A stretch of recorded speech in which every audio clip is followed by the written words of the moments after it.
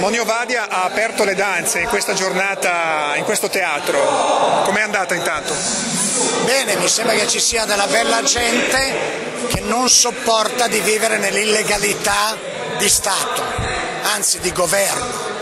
E, eh, sono persone che sono determinate a fare l'opposizione a questo governo eh, che vive intorno ai problemi di un solo uomo che sta bloccando il paese e tutto il suo sviluppo intorno ai propri problemi e ai propri narcisismi, alla propria egolatria, persone per bene, semplici che dicono vogliamo vivere in una democrazia vera, non in una caricatura di democrazia.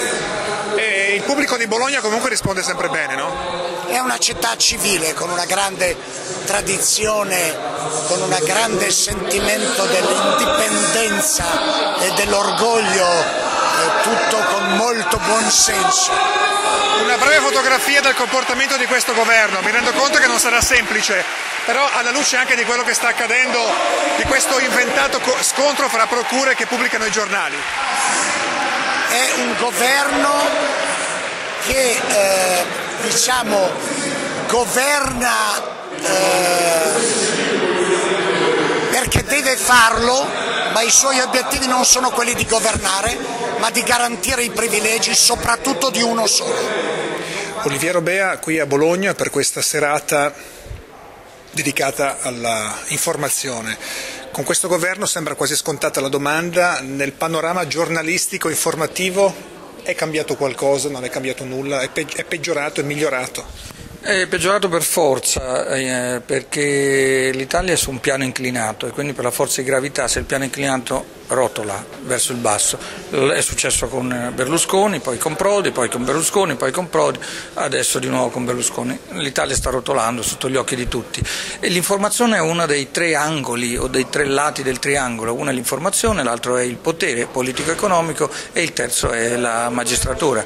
Quello che so, da quello che ho letto, da quello che, che mi è stato fatto sapere, eh, sono dell'idea eh, che assolutamente non si possa parlare di uno scontro di procure e che anzi farlo passare come scontro di procure sia un sistema per non far capire alla gente che cosa c'è sotto. Sotto c'è un magistrato come De Magistris che ha tirato fuori delle cose scottanti per il potere ed è andato tutto di conseguenza come per la Forleo eh, un anno e mezzo fa. E quindi sono quando vanno a toccare chi tocca i fili muore. E, e, la, la, conseguenza è questa.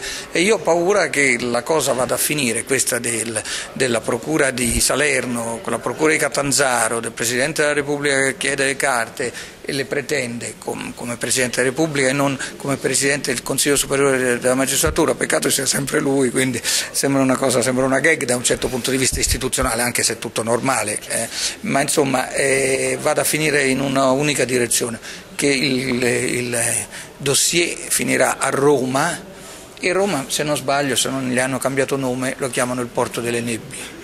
La rete a suo avviso può dare un contributo, lo sta dando nelle coscienze degli italiani oppure no? O è ancora presto? Eh, dunque, sta dando sicuramente un contributo, è una via d'uscita, alla sensibilità e alle coscienze degli italiani ci vuole temo eh, un pochino più di tempo, un pochino più di rete, deve prendere ancora più cazzotti l'italiano se no non ragiona.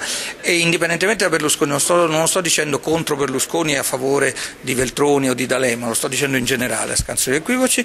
E credo che non basti ma credo che sia sufficiente sufficiente a impaurire, a impensierire il potere, se già eh, circolano le voci che di nuovo Berlusconi, come prima eh, Prodi, il governo Prodi, vuol mettere mano ai blog. Quindi. Aldo Pecora qui a Bologna per eh, questo dibattito sulla mafia, tu sei calabrese? Sì. Insomma, come, come si vive in Calabria?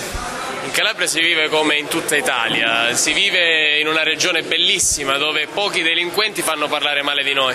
Questi delinquenti non sono solo i mafiosi, io lo dico sempre, ci sono una serie di connivenze che fanno forte l'andrangheta. E in Calabria il problema è la politica, troppo debole, l'economia troppo connivente e il sistema di potere gestito dalla massoneria più o meno deviata, quindi hai di, anzi hai meno commissariati di polizia e caserme dei carabinieri che logge massoniche in Calabria. Ormai uno scontro fra procure è un caso nazionale, forse De Magistris aveva inciso bene con quel bisturi e forse De Magistris aveva toccato dei nervi scoperti o dei fili scoperti. Ai calabresi, ai calabresi manca De Magistris non se ne sono accorti? Allora, io parlo con molta schiettezza, i giovani sono sicuramente vicini a De Magistris, continuano a seguirlo, seguono il suo lavoro, il suo operato, De Magistris è vicino alla Calabria. Gran parte della Calabria vorrebbe dimenticarselo perché uno come De Magistris è meglio portarlo via da una regione dove ci sono tanti problemi da nascondere. Ciò non vuol dire che però le giovani generazioni non si siano comunque soprattutto schierate non tanto con lui quanto per quelle cose che lui diceva, cioè why not la conoscono anche i ragazzi di 15 anni, 16 anni, quindi è una cosa molto importante, conoscere i nostri polli e dobbiamo ringraziare Luigi De Magistris.